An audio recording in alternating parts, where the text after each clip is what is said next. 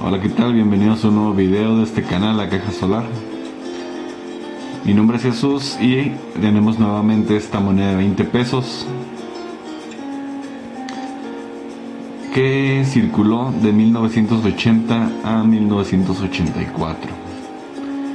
20 pesos en cobre y níquel, con un peso de 15.2 gramos, un diámetro de 32.06 milímetros, un grosor de 2.44 milímetros.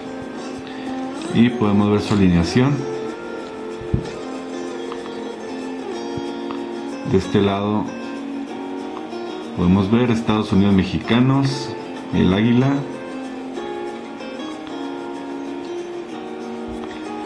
Del canto podemos ver a ver si lo dejo enfocar libertad independencia.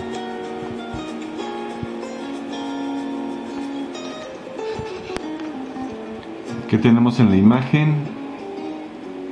Un jugador de pelota de la cultura maya encerrado en un círculo, junto a él el número 20, abajo la fecha 1982. Y estoy volviendo a comentar esta moneda porque al parecer habían hablado de que estaba una moneda muy cara, me habían preguntado. Y bueno, aquí van los datos de esta moneda. A ver.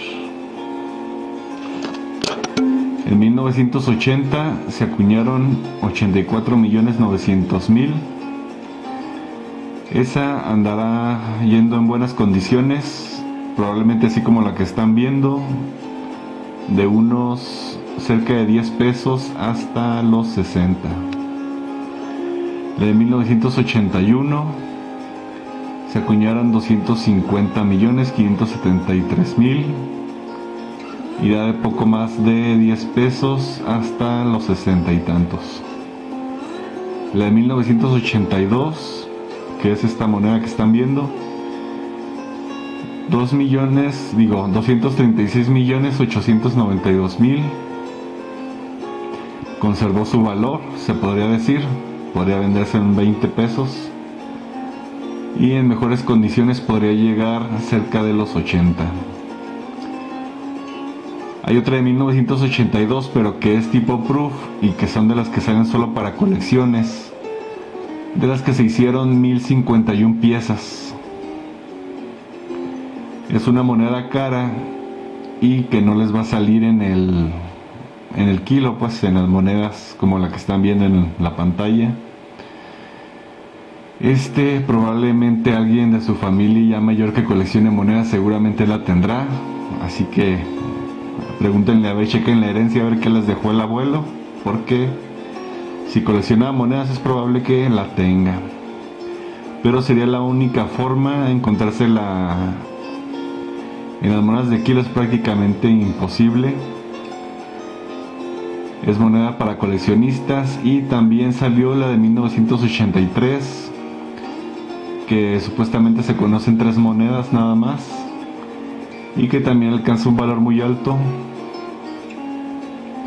como más de 9 mil pesos más o menos. Pero digo, son monedas que, que van a encontrar solamente en colecciones o que van a recibir de alguien que se dedicó a coleccionar. Va a ser muy difícil que se encuentren una por ahí rodando.